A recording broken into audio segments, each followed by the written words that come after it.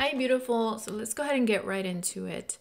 You probably are watching this if you purchased this online or bought it at the store. Just want to show you what it comes with. It comes with your acrylic liquid, your acrylic powder, comes with your nail glue and nail tips. It does also come with nail forms, but we're going to use the tips today, so I put that to the side.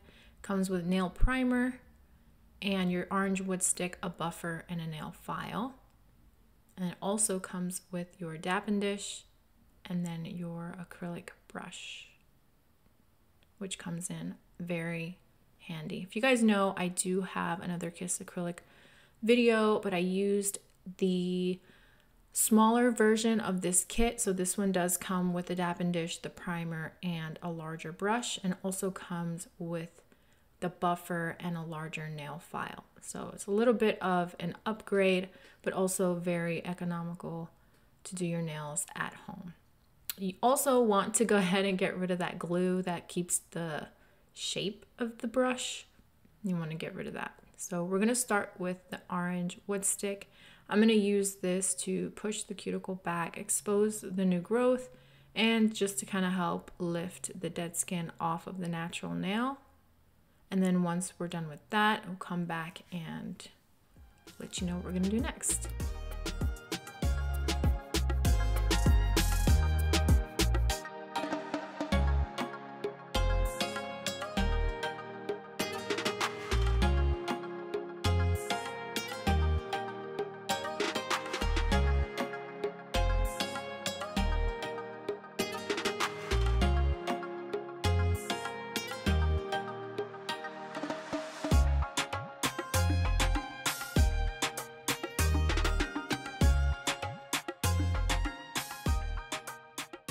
So just like my last video, which you guys found very helpful, we're going to stick to only the products that comes with the kit so that this way, if you go to purchase it, you won't need anything other than maybe two or three things that you would already have at home, okay? Here I'm showing you with the file. It does have a 100 grit file, which is the more coarse side, and then a 180 grit side, which is a finer side. It doesn't say it on the file, but you'll be able to tell just by feeling it that there's one side that's a little more harsh and then the side that's not as harsh. You're going to use the side that's finer on your natural nail. So I'm going around and what you want to do is remove all of the shine from the natural nail and also get rid of the dead skin that's attached to your natural nail. Please keep in mind that this is an important step because anything that can get in the way of the acrylic binding to your natural nail will cause lifting and then your set isn't going to last. So you want to go in carefully and gently and remove all of the natural shine and the dead skin and debris that's on your natural nail. And once we're done with that, we will move on to the next step.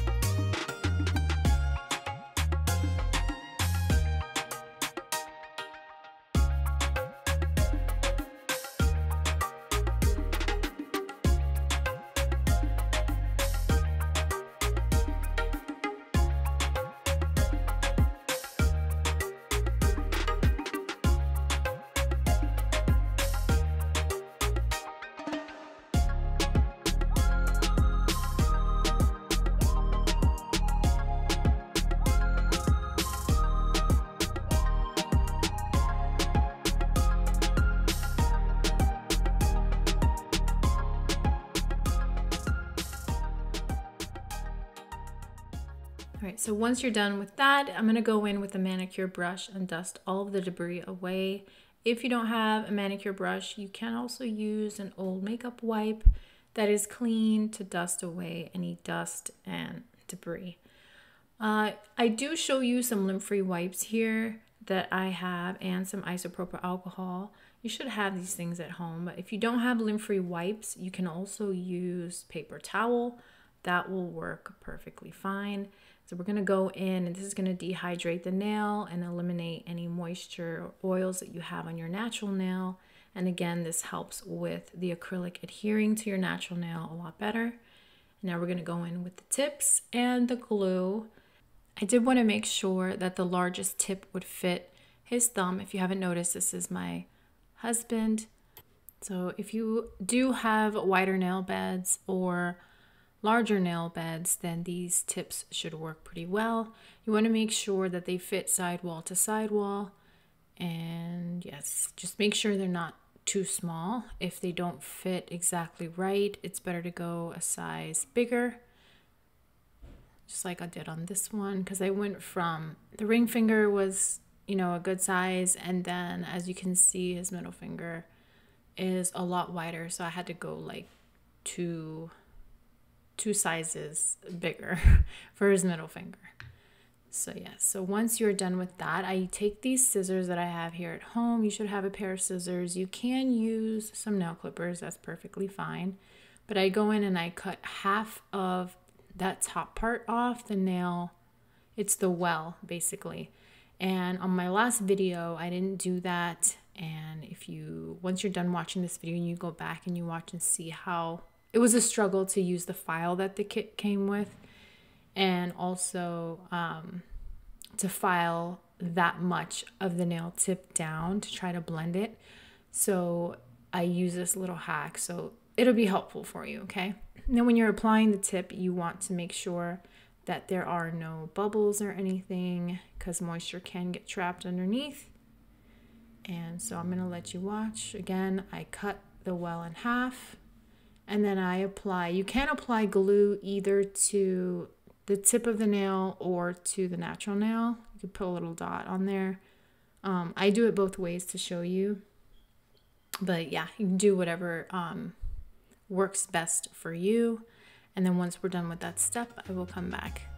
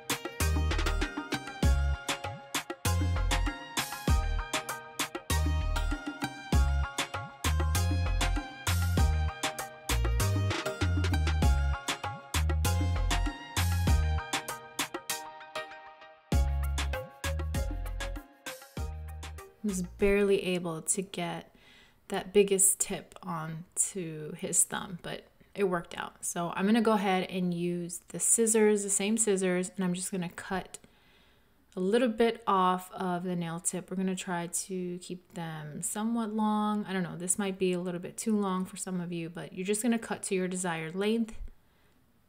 And then we're to go into file. Now, once the tip is on, you can use the more coarse side of the file on the tip and you want to make sure the file when you're filing is always parallel to the nail so that you keep a nice crisp shape And then I go in, once I'm blending the tip into the natural nail, I always want to stay behind the plastic. So basically, not touching the natural nail, but getting as close as possible.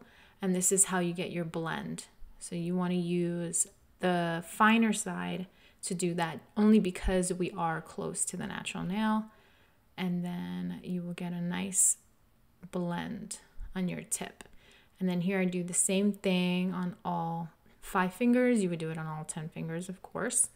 So I make sure I shape everything, make sure everything nice and square and crisp. And then I go in and I blend and use the finer side so that I do not cause any damage to my natural nail. And then once you're done with that, we will move on to the next step.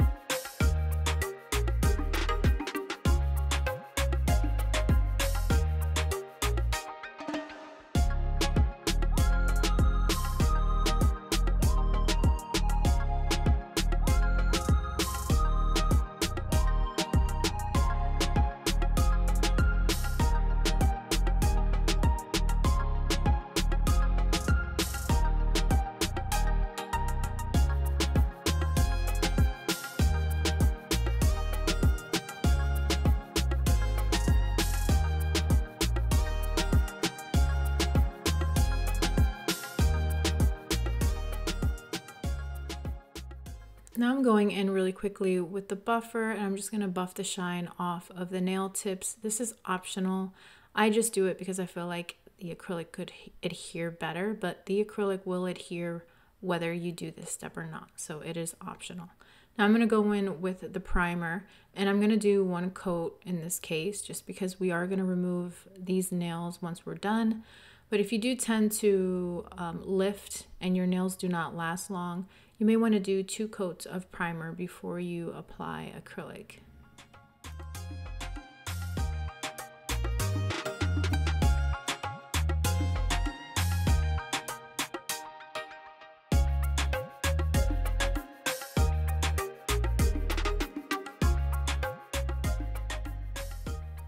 All right, so now we're gonna get everything ready. I've put my dappen dish down and we're going in with the acrylic powder and the acrylic liquid. I'm show you a little hack here. If you don't want to make a mess, just pour the liquid onto the brush first so that it can go into the dappen dish without making a mess. And in order to clean, I don't know if you guys remember, it obviously it had that glue to keep the shape on it. We kind of removed it with our nail. So now I'm going in and just cleaning a little bit with the monomer, making sure that it's saturated and good to go so that we don't have any problems during application. So now I'm going to go in and make sure all the bubbles are released and your brush is completely saturated. And you dip your brush in, place on your nail, and then you swipe down. And when you're swiping down, you want to be gentle because you don't want to remove the acrylic that you've applied on the nail. And I try to do a three ball method. You may end up needing to apply more beads but you just want to you know use your judgment and just look at the nail and see where you need more acrylic and I just work my way up and then I try to keep it as thin as possible up by the cuticle because we're going to end up blending that and making it flush to the natural nail. So when you place your bead, you want to make sure that once you're releasing, you swipe side to side and then down on the center, making sure that you do not touch the skin. I'm angling the finger down so that it doesn't run back into the cuticle. And that basically helps with you not flooding the cuticle and getting the acrylic up on your skin or anything like that. My advice is to always start in the center of your nail when you're applying the acrylic beads, just because that's where most of the strength should be. You want your apex and your arch to be there because typically when we ding our nails, um, that's where the stress area is, is in that area where your apex is or underneath your apex. So you want your highest point to be where I place that first bead. So I kind of build that first to give it strength. And then I work my way down to the tip, sometimes up. Sometimes I, I start up at the um, cuticle, but I work my way down and then I leave the cuticle area last. So I work my way up. And I do it this way too with these because the brush is really small. So there's only so much of the acrylic that you can pick up. But as you guys see, I dip in the monomer, I swipe, and then I dip the brush in. And depending on how much acrylic or powder I want on the brush is how long I will leave it in the powder. So if I just want a little bead, I'm just to dab it in. If I want a bigger bead, then I'm to dip it and maybe count two seconds. And then a, a bigger bead than that would be like three seconds. So here I'm going to add more monomer and I use the same method. I did put a little bit too much in there, but because you want some room to be able to swipe your brush. Oh, very important is you do not see it here on camera, but you want to make sure that you are swiping your brush every time you release your acrylic or you swipe your acrylic. So here I put my bead down and as I'm swiping, you see I'm swiping it on the paper towel. You want to try to do that consistently. That's going to keep your brush from clumping up. I got a lot of questions about that last time. So just make sure that you are swiping your brush consistently and often so that your brush doesn't clump up because that will that will basically ruin everything. You won't be able to apply the acrylic. So just keep that in mind and then once we're done with this step, I will come back.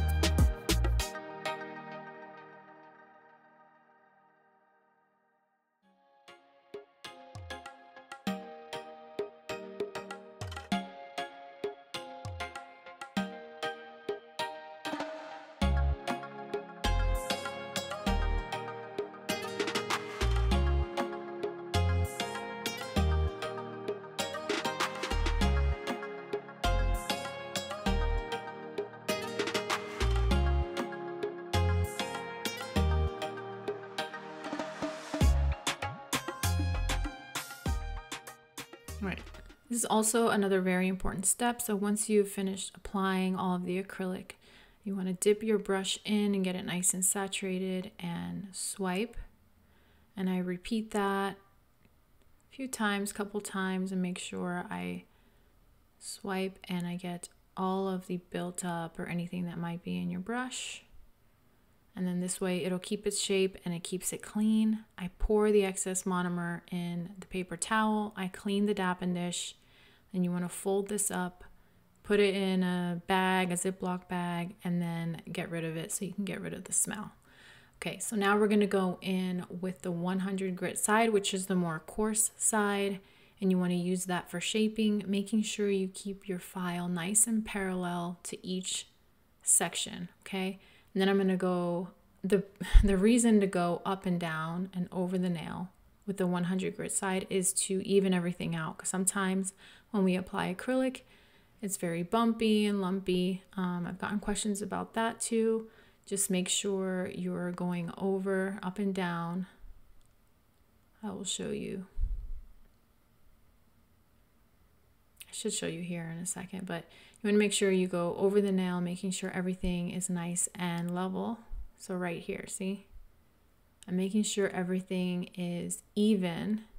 And then as I get closer to the cuticle, you saw I switch sides and I use the finer side.